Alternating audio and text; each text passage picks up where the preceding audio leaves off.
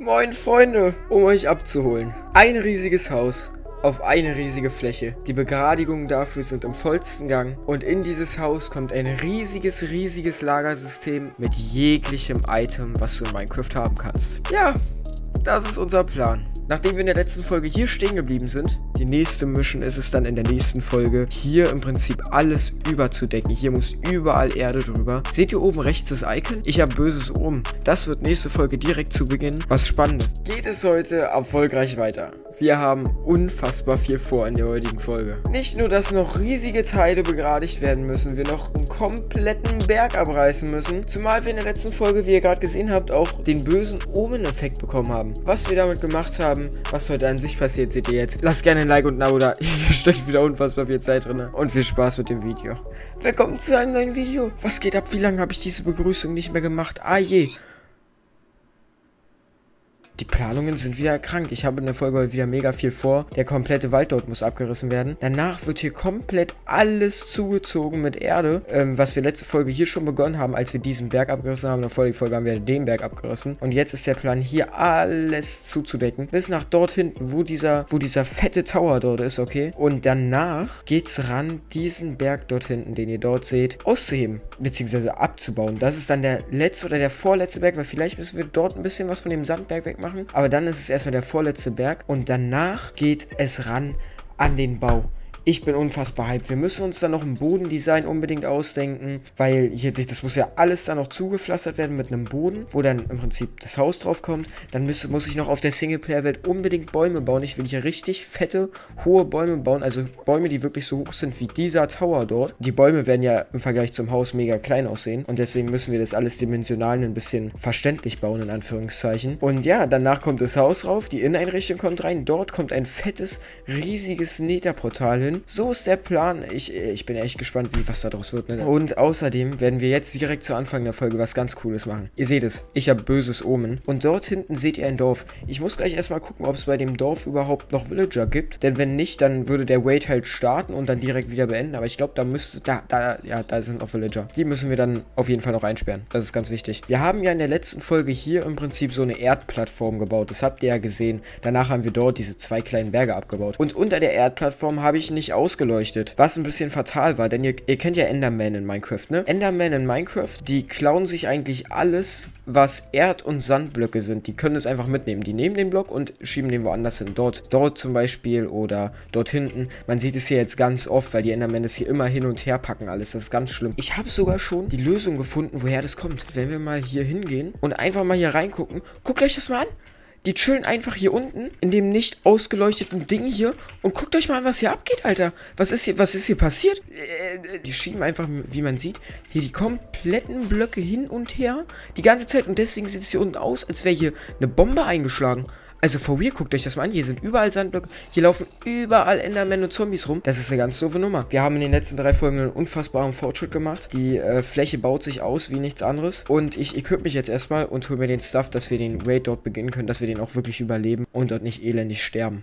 Das wäre natürlich ein bisschen, äh, ja, ein bisschen sehr doof, würde ich sagen. Huch. So, Leute, ausgerüstet mit dem wichtigsten Stuff. Ich habe mir jetzt zwei Schilde noch gemacht, habe hier jetzt einen Bogen dabei, habe auch die Lytra noch einstecken, falls ich die auch wie immer brauchen sollte. Und ich würde sagen, wir starten jetzt einfach mal den Raid. Ich dürfte eigentlich nicht sterben. Ich habe ein Schild, ich habe Goldäpfel, ich habe gute Bögen, ich habe gutes Schwert. Eigentlich dürfte echt nichts Besonderes passieren, was mich jetzt, äh, weird dastehen lässt oder so. Also, wenn ich sterbe, dann war es echt dumm. Wir müssen wenigstens einen Dorfbewohner einbauen, dass sie nicht alle sterben. Ey, Brudi, chill, chill, chill. Alles entspannt. Wir müssen dich einmal... Nein, nein, nein.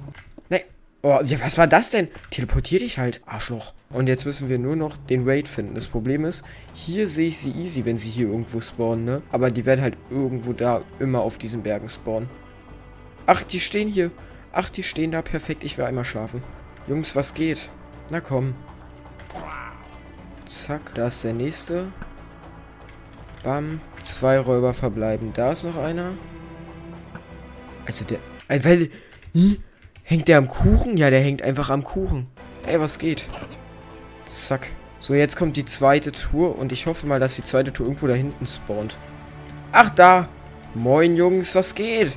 Ich weiß halt nicht, was Mojang, was Minekraft sich gedacht hat, als sie diese Raids gemacht haben. Ich meine, ich bitte euch, als ob ich jetzt hier irgendwie sterben könnte. Die sind doch alle an einem Fleck gespawnt. Wie kann es denn sein, dass ich den letzten verloren habe? Ach, da steht er. Oh, oh, oh. Oh, scheiße. Jo, wahrscheinlich. Wie, wie soll ich sterben? Der Typ hat mir einfach gerade fünf Herzen gezogen. Trotz Schild. Was war das denn? Nee, drei Herzen. Na, komm her, Junge. Oh. Äh. Zack. Da ist er weg. Du auch. Ach, ach, direkt vor mir. Oh, da ist dieses fette Vieh dabei. Vor dem muss ich aufpassen. Das broke die Rüstung richtig krank. Oh. Oh mein Gott. Ja, also die anderen sind halt absolute Luschen. Diese Bogentypen, was, was wollen die hier? die haben legit nicht einen Hit auf mich getroffen einfach. Hallo? Na, wie geht's hier? Zack. Ich habe deinen Bruder am Anfang des Videos umgebracht. Ach, da oben sind sie. Ey, oha, ich sehe die jetzt gerade die ganze Zeit voll. Glaubt ihr, die kommen von alleine runtergesprungen und sterben? Nee, die bleiben einfach da oben, ne? Die haben einfach nichts gedroppt. Alle Räuber haben nichts gedroppt. Ich fasse es nicht. Kämpft der? Macht der, macht der irgendwie Schaden? Ist es einfach mein Freund? Kann ich den behalten? Können wir dem einen Name-Tag geben? Wir könnten dem aber auch einen Name-Tag geben einfach. Das wäre auch cool. Ja, ich muss dich töten, Brody. Irgendwann, Leute, irgendwann im Projekt, okay, werden wir mal so einen Typen uns holen und den umbenennen. Und dann werden wir den einfach einsperren. Der Bison ist halt so ein mächtiges Tier. Das ist krank. Aber dafür sind der Rest halt alles Luschen. Hi. Zack. Was, was sind denn, was machen denn die Typen, die keine Axt haben? Sind es einfach die... Ach du... What the fuck, was... Oh, nein, nein, oh, nicht... Oh, nee, nee, mach nicht diese Mistdinger. Och nee, och nee, an dem bin ich beim letzten Mal gestorben. Weil die so klein sind, die haben so eine Kack-Hit-Range. Die können auch durch Wände fliegen, glaube ich. Wenn ich mich richtig entsinne, ne? Boah. Die wollen hier immer meinen eingesperrten Villager töten. Ihr doof. Oh mein... Der hat mir schon wieder vier Herzen gezogen, einfach. Oh nein, oh nein. Okay, vor dem Axttyp habe ich wirklich Respekt. Wie viel Schaden macht er mir? Ach, der... Was? Der macht mir mit Full Netherweight Rüstung nur ein Herz? Jungs, was geht? Och nee. Och nee. Och nee. Och nee. Och nee, das wird mir dann doch zu viel. Nein, hör doch auf damit. Hör doch auf damit. Das, das hier ist das Oberarschloch. Och nee. Ihr seid solche na? Oh nee. Oh nee, dich mache ich weg. Dich mache ich weg. Oh nee. Oh nein! Ah! Bisonvieh, Bisonvieh, Bisonvieh. Geh weg. Auf dem Bisonvieh reitet so ein Vieh. Ach du Scheiße. Ach, oh, oh, oh, oh, oh. Ey, die Bisonviecher. Oh mein Gott, aua. Ah. Und auf dem Bisonvieh sitzt einfach so ein kack anderes Vieh. Geh weg. Die kriegen halt auch keinen Knockback. Ah, zack. Und den kriege ich auch. Komm her. So. Nein, nein, nein. Nein, nein, die kleinen Viecher töten den Villager. Die kleinen Viecher töten den Villager. Die kleinen... Ah, ich habe gewonnen. Ich habe gewonnen. Wir haben es geschafft. Komm, du auch noch. Villager, du bist frei. Komm raus. Ey, Party. Ähm, äh, es geht ab. So, guck mal, in Zukunft laufen wir dann einfach immer mit Totem der Unsterblichkeit rum. Das nervt mich ein bisschen, die ganze Zeit da links zu sehen, aber ich glaube, da gewöhnt man sich dran, ne? Und Held des Dorfes bringt uns auch in unserer Villager Trading Hall einen riesigen Vorteil. Ich werde mir jetzt zuerst noch ein paar Trichter und ein paar Kisten holen, denn leider sind unsere Kisten hier sehr weit voll. Hier sind jetzt pro Reihe noch drei Doppelkisten vergeben. Der Rest da drüber ist komplett voll. Und hier drunter, wie ihr seht, ist auch alles komplett voll. Und wir haben halt hier oben noch unfassbar viel in den Schalker-Kisten, was einsortiert wird. Okay, so viel jetzt auch nicht mehr. Ja, dann baue ich hier im Prinzip noch einen kleinen Abteil dazu, so vier, fünf, sechs Reihen vielleicht. Und danach kümmere ich mich um die Ausleuchtung hier unten. Also, das ist ja mal wohl die pure Pflicht. Genau, ihr seht das also in der Timelapse. Viel Spaß. Na, na, na, stopp, stopp, stopp. Vorerst haben wir erstmal nochmal Items von dem einen Ort zum anderen gebracht. Ein jämmerliches Hin und Her. Und unsere kleine Lagerstation, die wir dort hatten, um den fetten Berg abzubauen, ja, die haben wir abgebaut. Lol. Aber danach ging's los mit der Timelapse. Ich habe das Lager nochmal um einiges vergrößert. Es war zu krank. Viel Spaß.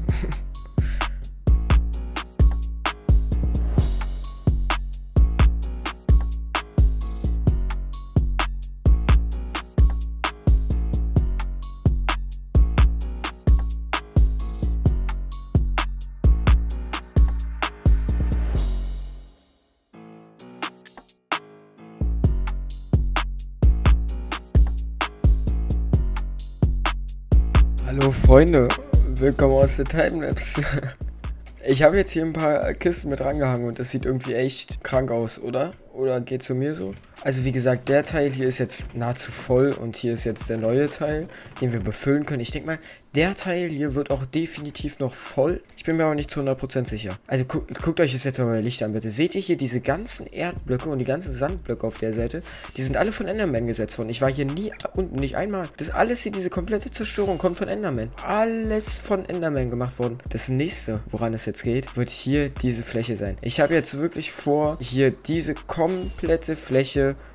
im Prinzip gerade zu machen. Alles, was im Prinzip aufgeschüttet werden kann auf Höhe 84, bedeutet hier bis hierher wird alles, was ihr seht, was hier im Prinzip drunter ist, aufgeschüttet. Das muss übrigens auch alles dann ausgeleuchtet werden, weil sonst spawnen ja da wieder Enderman und dann geht es wieder von vorne los und das wollen wir ja nicht. Ne, 82, ne? Und danach geht es nur noch an diesen fetten Klotz.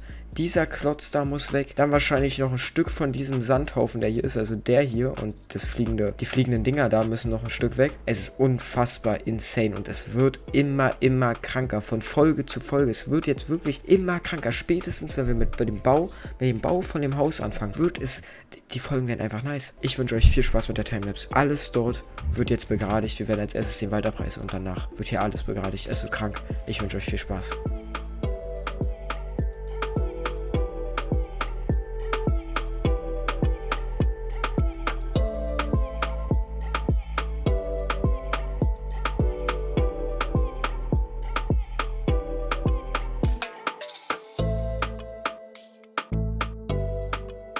Es ist jede Menge passiert, was soll ich euch sagen?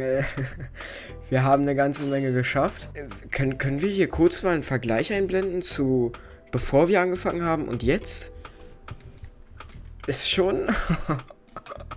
ist schon ordentlich, ist schon ordentlich was passiert bisher, würde ich sagen. Ich würde sagen, wir haben jetzt so 75%, plus minus 75% müssten jetzt stehen. Und jetzt fehlt uns noch der Teil hier. Ihr seht, dort ist der rote Balken und ebenfalls dort hinten. Es ist tatsächlich so, ich möchte hier diesen fliegenden Haufen, diesen fliegenden Haufen, das dort, nur dieses kleine Stück und diesen Berg hier abreißen. Hier rum im Prinzip, guck mal. Im Prinzip hier, dass hier das Ende ist und dass es hier rumgeht. Und genau bis da alles gerade ist. Oder vielleicht sogar ein Teil des Berges dort mit. Weil ihr müsst euch ja vorstellen, dort, wo dieses rote Dingturm ist, okay. Hier ist ja im Prinzip die letzte Ecke des Hauses. Heißt, hier sind Fenster. Und dann ist hier einfach direkt eine Stein, ein Steinhaufen. Deswegen müssen wir gucken, dass wir wirklich den gesamten Berg hier abreißen. Das gesamte Ding hier kommt weg. Dann müssen wir hier noch ein bisschen begradigen, aber das ist nicht so viel. Und hier noch rum. Und dann seht ihr, haben wir es. Jetzt habt ihr gerade eben schon das nächste Problemgebiet gefunden, um das ich mich jetzt noch kümmern werde. Denn, ja, ich traue mich, um ehrlich zu sein, gar nicht reinzufliegen. Hier unten ist wieder nichts ausgeleuchtet. Es ist komplett dunkel und wie ihr seht, hier spawnt so unfassbar viel. Und das ist auch so eine große Nutzfläche.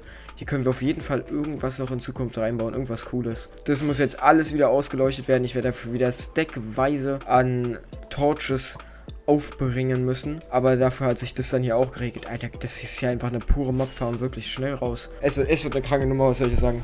Viel Spaß mit der Timelapse, Leute. Viel Spaß.